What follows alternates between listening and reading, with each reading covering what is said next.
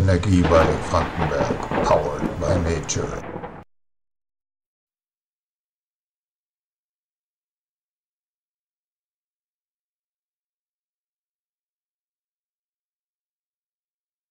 Ich bin eröffne die Sitzung des Kreistages und begrüße die Damen und Herren des Kreistages, Herrn Landrat von Hubert, Herrn ersten Kreisleiter von Deutschdorf, die ehrenamtlichen Kreisbeigeordneten, Mitarbeiterinnen und Mitarbeiter der Verwaltung. Auch begrüße ich herzlich die anwesenden Pressevertreter und die Zuschauer. Zu dieser Kreistagssitzung und die Erläuterung zu den einzelnen Tagesordnungspunkten ist Ihnen rechtzeitig zugegangen. Erheblich in Form und Inhalt der Einladung Widerspruch. Das ist nicht der Fall.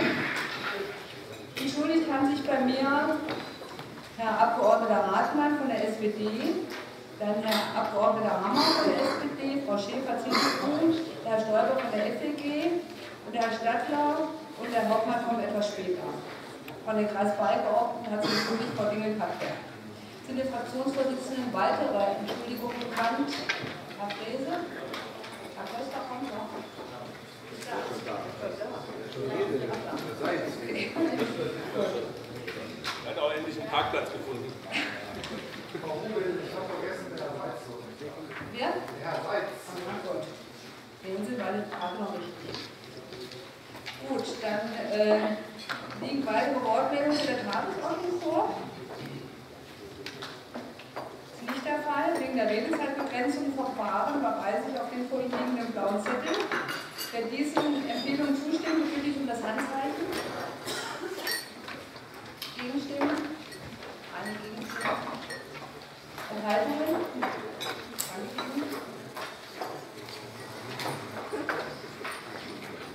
Ich stelle damit fest, dass die vom Ältestenrat vorgeschlagenen Redezeiten und Verfahren damit als beschlossen gelten und rufen nunmehr Tagesordnungspunkt 1 Fragestunde nach 18 der Geschäftsordnung auf und möchte auch nochmal bei der Gelegenheit vorab Herrn Dudek begrüßen, der heute wieder live aus dem Kreistag filmt. Nee, live nicht.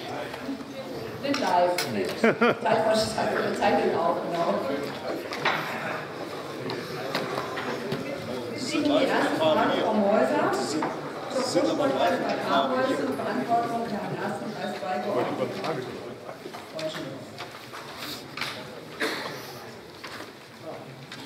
Guten Tag, Frau Vorsitzende. Hallo, meine Damen und Herren.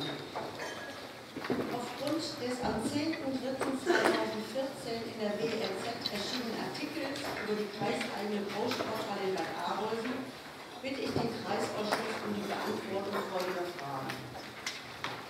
Zutreffend, dass seit der Inbetriebnahme der Großsporthalle im Jahr 1991 eine Undichtigkeit des Daches besteht, die sich seitdem negativ auf die Leinwinterträgerkonstruktion des Hallendachs auswirkt? Soll ich gleich die Nummer 2 und 3 hinterher schieben, Herr Deutschland? Mir ist recht. Falls dies zutrifft, warum wurde nicht innerhalb der Gewährleistungsfrist der Schaden behoben? Drittens trifft es zu, dass die dortigen Schülerduschen in solch einem mangelhaften Zustand sind, wie es im Presseartikel angefangen wurde. Sehr geehrte Frau Häuser, sehr geehrte Frau Vorsitzende, meine Damen und Herren, die Undichtigkeiten sind im Eigenbetrieb Gebäudemanagement seit dem Jahr 2006 bekannt und treten je nach Witterungslage auf. Die Frage, ob die Undichtigkeiten schon seit Fer Fertigstellung der Halle bestehen, kann nicht beantwortet werden. Fakt ist es, dass aufgrund der damals gewählten Dachkonstruktion mit innenliegenden, wasserführenden Kehlen es immer wieder zu Problemen kommt, je nach Schnee- und Widerstandsaufbau. Und das äh, Problem besteht darin, dass da in den Kehlen zu wenig Gefälle ist und damit äh, das Wasser nicht vollständig abfließt, sondern sich äh, aufstaut und dann äh, unter so Dachelemente, äh, unter den Dachelementen eindringt und äh, seitlich in den Eingangsflächen in das Gebäude läuft, äh, an den Brettschicht Holzbindern herunter. Und um ein Durchnässen des Sportbodens zu verhindern, werden je nach Bedarf Eimer an den entsprechenden Stellen aufgestellt. Die Halle steht unter Beobachtung des Eigenbetriebes. Veränderungen bei den Brettschicht Holzbindern konnten seit der Gefährdungsanalyse äh, die im Jahr 2006, 2007 nach dem Unglück in Bad Reichenhall durchgeführt äh, wurde, nicht festgestellt werden. Durch äh, die temporäre Benessung der Leinbilder in einem relativ kleinen Bereich wird sich kein Leim auflösen, zumal die Binder keiner, keiner permanenten Befeuchtung ausgesetzt sind und in der Halle relativ konstante Temperaturen herrschen. Nun zu den Schülerduschen. Also dort konnte von unserer Seite eine verschimmelte Schülerdusche nicht festgestellt werden. Wichtig ist, äh, dass es dort Lüftungsprobleme in den Umkleidebereichen gibt. Die Ursache dafür sind ähm, Tellerventile, die von den Nutzern zugedreht werden, um äh, zu verhindern, dass es in den Duschen zieht. Und äh, das bewirkt, dass die Lüftungsanlage nicht richtig funktioniert. Und äh, ja, jedes Tellerventil muss anschließend wieder von einem Fachmonteur äh, geöffnet werden. Äh, und das führt, wie gesagt, zu diesem Lüftungsproblem. Das ist auch schon eine Weile bekannt. Äh, es wurde mit einem Lüftungsbauer Kontakt aufgenommen, der einen Lösungsweg erarbeitet und ähm, ja, im Frühjahr 2014, also zurzeit wird das umgesetzt und es wird ca. 15.000 Euro kosten, ich mal, diese problematischen Bedingungen zu beseitigen und dafür zu sorgen, dass die Lüftungsprobleme aufhören.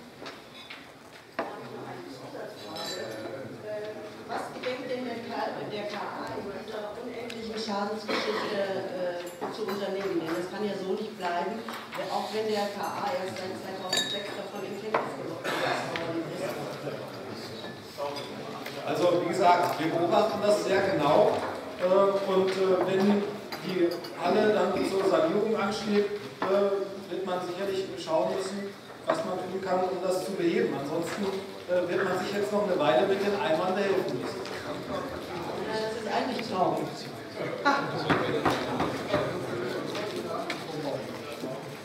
Gibt es weitere Fragen zu dem Thema? Das ist nicht der Fall, dann kommen wir zur zweiten Frage. Herr Arnold zum Kreiskrankenhaus. Herr Landrat, mit der Kollege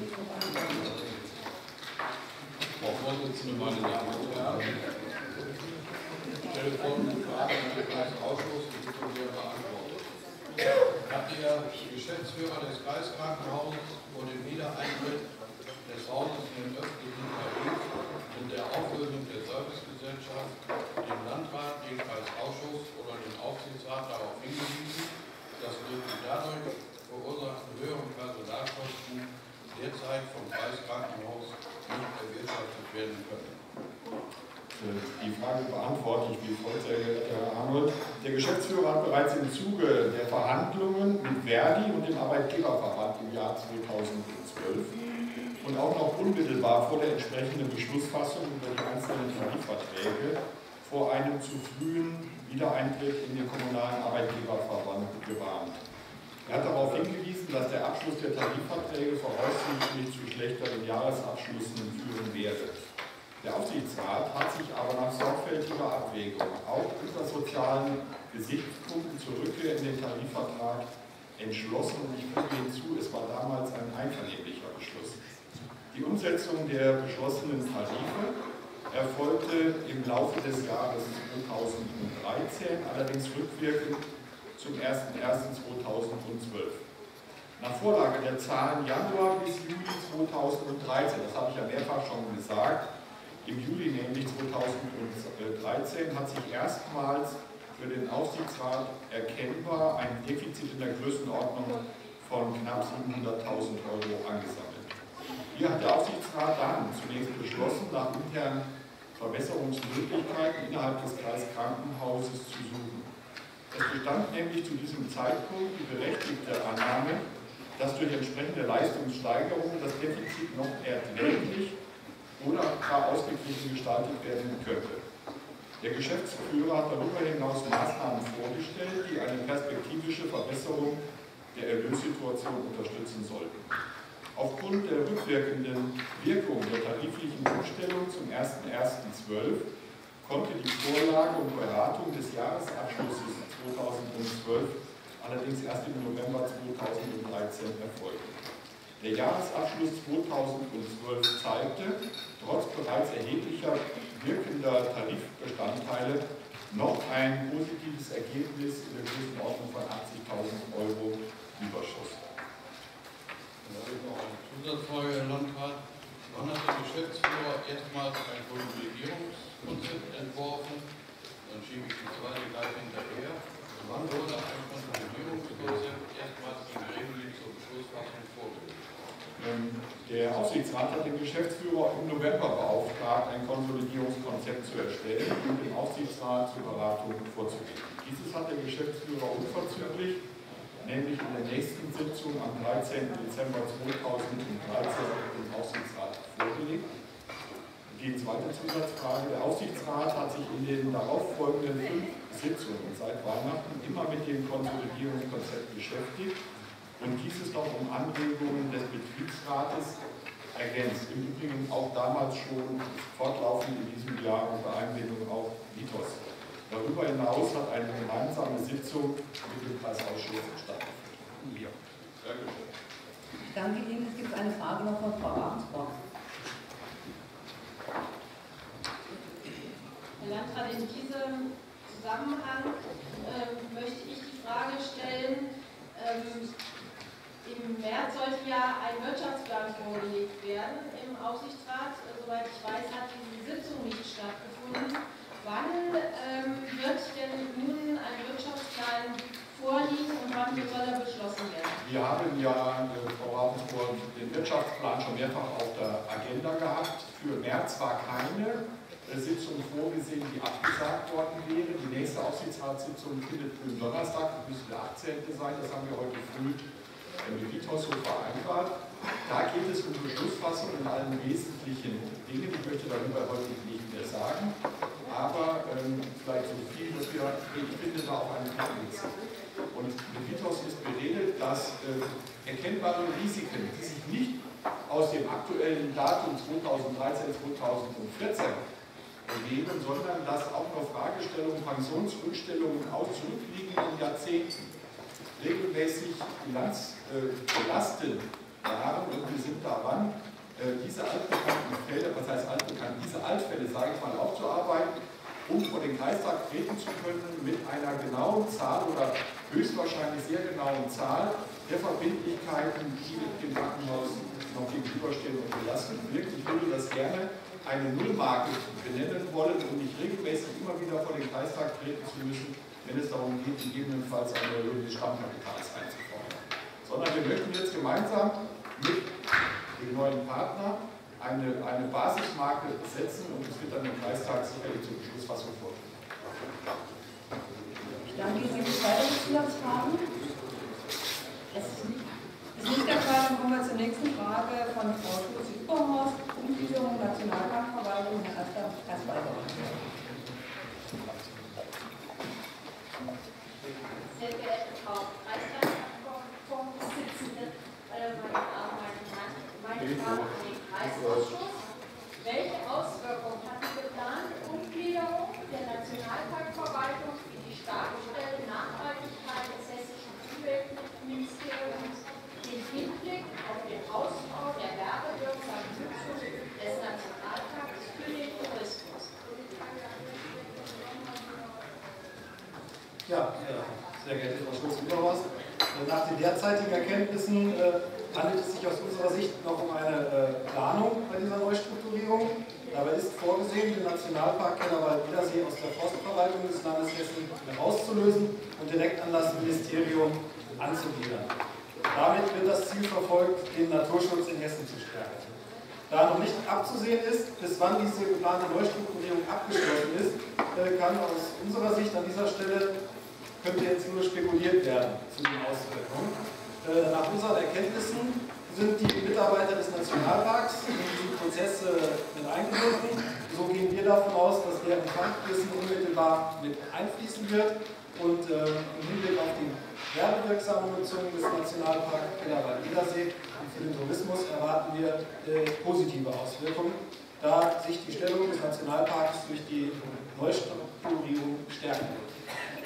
Meine Zusatzfrage wäre noch, in der Vergangenheit hat das Nationalparkamt mit den Anliegergemeinden zusammen diesen Wegeplan aufgestellt und durchgesprochen. Äh, wird das in Zukunft auch so weiterlaufen können oder geht das alles dann von diesem Ich denke, dass äh, wichtigen äh, transparenten Entscheidungsprozesse immer äh, mit der Region gemeinsam äh, weiter durchgeführt werden. Das war ja ein positives Beispiel, äh, wie das durchgeführt worden ist. Und insofern gehe ich davon aus, dass das auch so fortgesetzt wird. Ja. Und äh, die Regierung auch.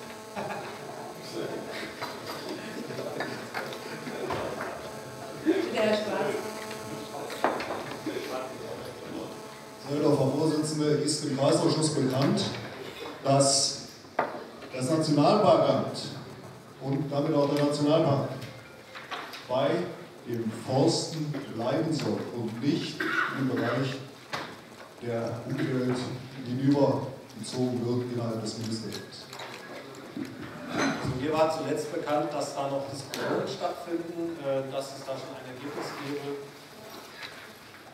Bin ich noch nicht darüber informiert worden. Gute Beratung. Gibt es weitere Fragen?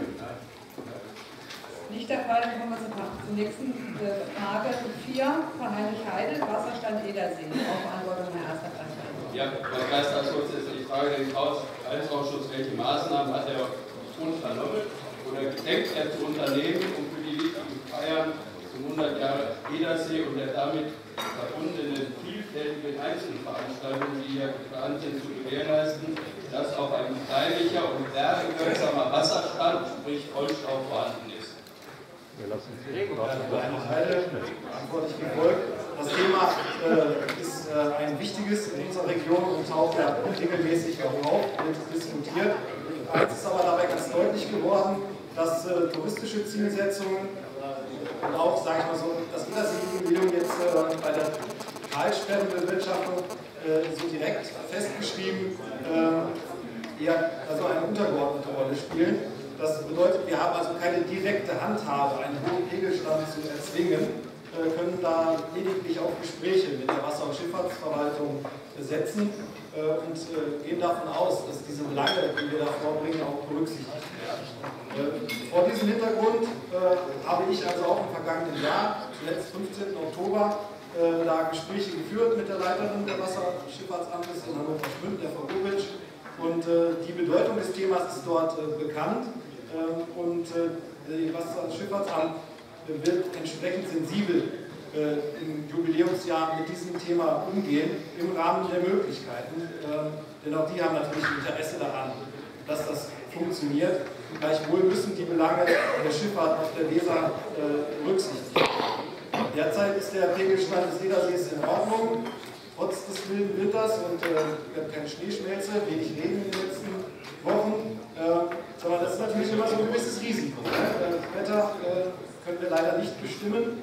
Ähm, insofern ist es auch möglich, dass das schwierig wird. Wir tun alles dafür, äh, damit der See voll ist im Jubiläumsjahr. Und, ähm, genau. Gehe davon aus, dass man bei der Wasserschifffahrtsverwaltung unsere Belange in diesem Jahr besonders berücksichtigt und äh, es gibt halt keinen juristischen Anspruch darauf. Bin aber sehr zuversichtlich, dass das gelingt.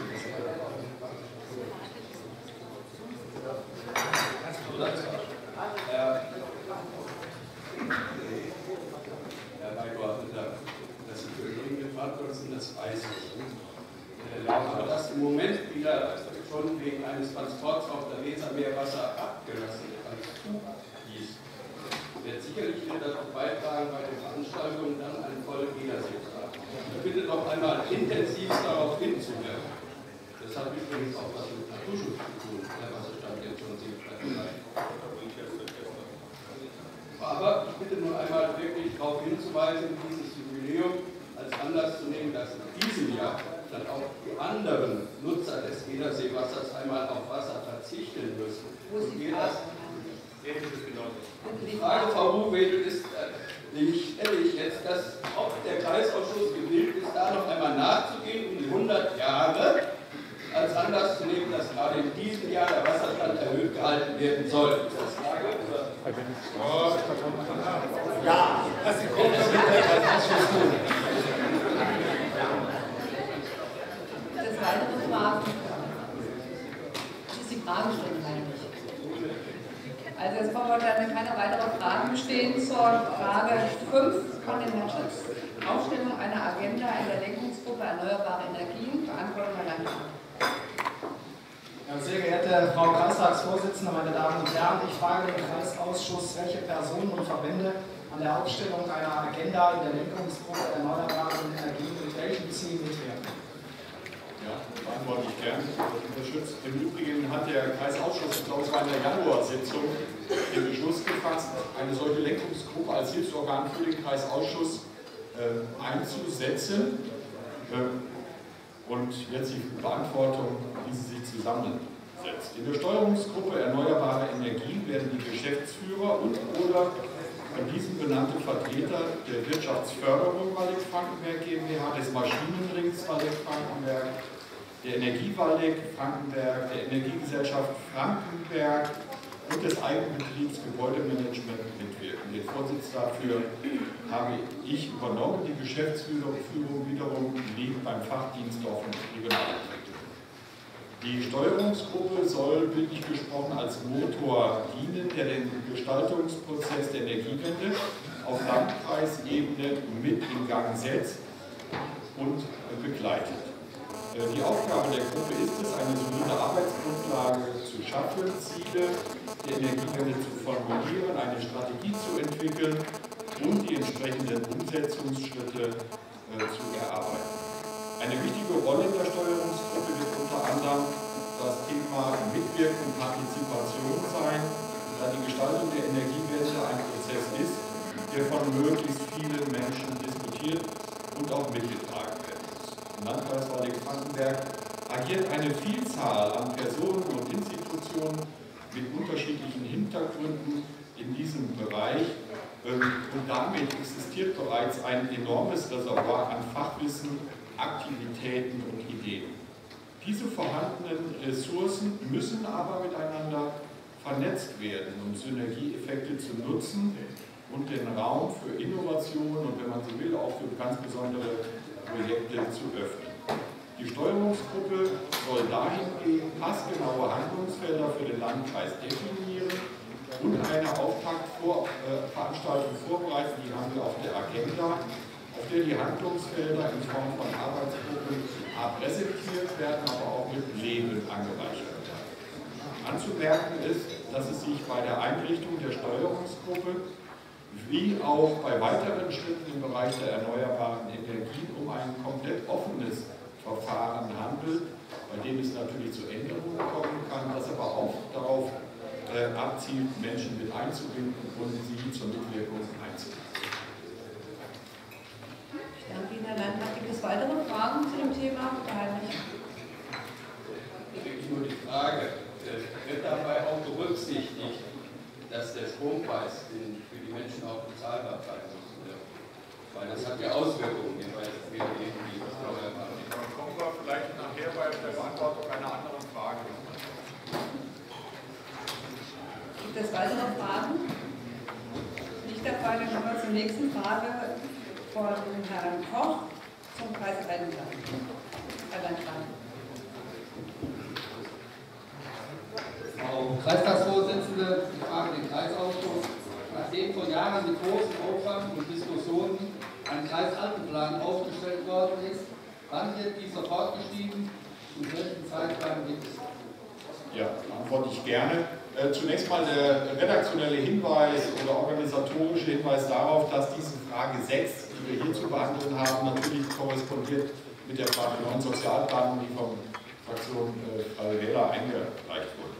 Der Kreisausschuss wurde beauftragt, die Erstellung einer Sozialplanung äh, vorzunehmen, die neben dem Personenkreis der über 65-Jährigen die Personengruppen mit Bedarfen nach dem Kapitel 467 des SGB 12 umfasst und die hierfür erforderlichen Haushaltsmittel in den Haushalten der folgenden Jahre einzustellen. Die Sozialplanung sollte Grundlage für Entscheidungen sein, mit denen Sozialangebote und Leistungen verbessert werden können. Im Zuge der Haushaltssicherungskonzepte wurde dann beschlossen, die zunächst für externe Einbringungen eingestellten Mittel in Höhe von 70.000 Euro für das Jahr 2010 auf 10.000 Euro für die fortfolgenden Jahre zu reduzieren, da die Sozialplanung im Fachdienst 4.1 Soziale Angelegenheiten überwiegend in eigener Regie, so der Wortlaut damals, vorgenommen werden können. Im März 2013 wurde dann die organisatorische Zuständigkeit, das muss ich hier erwähnen, für die Sozialplanung an den Fachdienst Dorf und Regionalentwicklung übertragen. Eine auf Ebene der Fachdienstleitungen Dorf- und Regionalentwicklung, Bildung, Sport und soziale Angelegenheit, Jugend und Gesundheit eingerichtete AG traf sich bis zum heutigen Punkt fünfmal bis zum Oktober 2013 und besprach die damit zusammenhängenden Fragen. Ich werde gleich bei der Beantwortung der Frage 9 darauf hinweisen, dass ich davon ausgehe, dass wir im Ende des Jahres den Kreistag bzw. vorab den Kreisausschuss mit der gesamten Sozialplanung äh, in, in die Diskussion gehen. Ich danke Ihnen, Herr Landrat. Gibt es weitere Fragen zum Thema? nicht der Fall. Dann kommen wir zur nächsten Frage. Herr Hoffmann zum Thema Kreisstraße. Antworten Herr Erster Kreisbeirat. Sehr geehrte Frau Vorsitzende, sehr geehrte Damen und Herren, ich habe folgende Frage an den Kreisausschuss. Beim innerörtlichen Kanalbau und anschließenden Ausbau der jeweiligen Kreis-, Landes- oder Bundesstraßen zahlt der Baulastträger der jeweiligen Kommune einen Beitrag zur Straßenentwässerung. In der Regel wird das Verfahren durch eine Verwandlungsvereinbarung geregelt. Die Stadt oder Gemeinde zahlt die Baukosten, der Baulastträger erstattet dann seinen Anteil an die Kommune. Jetzt bekommen die Kommunen Bescheid, dass die mit der Erstattung für im Jahr 2013 vorfinanzierte Baukosten frühestens im Jahr 2015 gerechnet werden kann. Welche Gründe gibt es für diese Vorgehensweise und wie wollen Sie das gerechtfertigen? wenn Sie auf der anderen Seite von Städten und Gemeinden Konsolidierungsprogramme verlangen, die ihnen jeglichen Gestaltungsspielraum nehmen. Sehr geehrter Herr Hofmann, eingangs möchte ich mal darauf hinweisen, dass es hier um eine ganz übliche und gängige Verwaltungspraxis handelt, die seit vielen Jahren so hier im Landkreis praktiziert wird. Es gibt dabei diesen Maßnahmen eine Verwaltungsvereinbarung, nachdem wir das abwickeln und äh, Bisher liegt mir auch, sag ich mal, seitens von Bürgermeistern, möglicherweise auch aus Burgwald, da keinerlei äh, Kritik vor oder äh, ist nichts vorgetragen worden.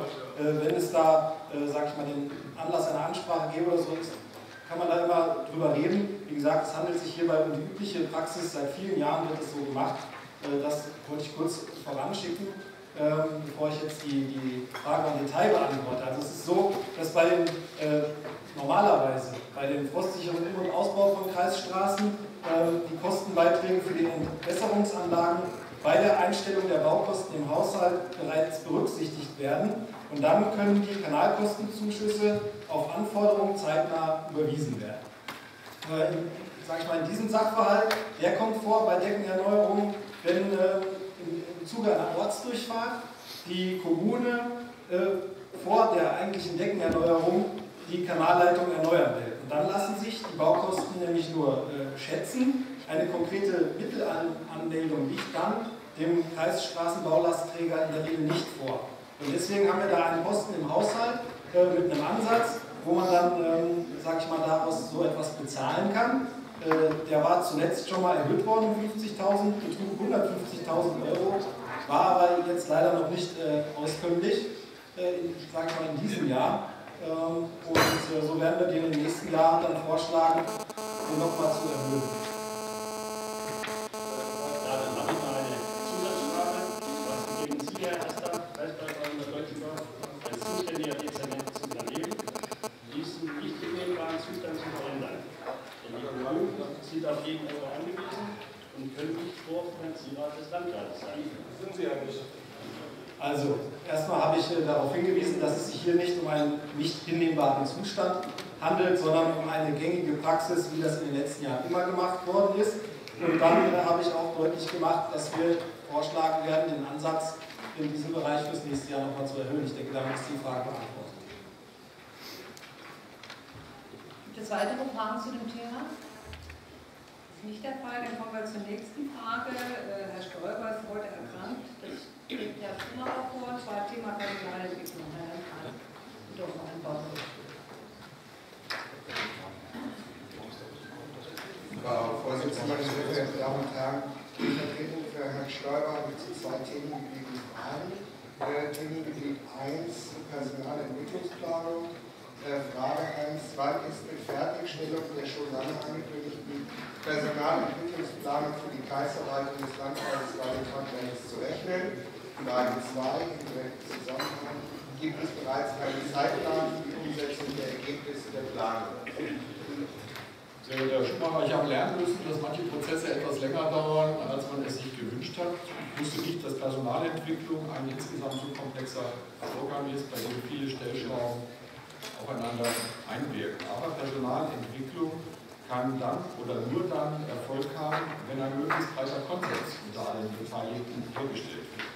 Vor diesem Hintergrund ist der zweite Entwurf eines erarbeiteten und ziemlich neuen Konzeptes zur Personalentwicklung fertiggestellt und den Fachdienstleitungen im Rahmen eines gemeinsam durchgeführten Workshops vorgestellt und diskutiert worden.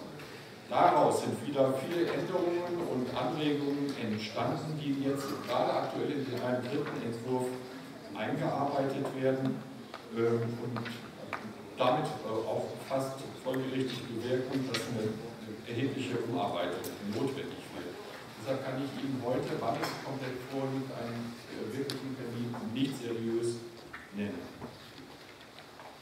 Sie fragen nach dem Zeitplan, das wäre ja quasi dann in der Zusatzfrage äh, das, auf was ich antworten möchte.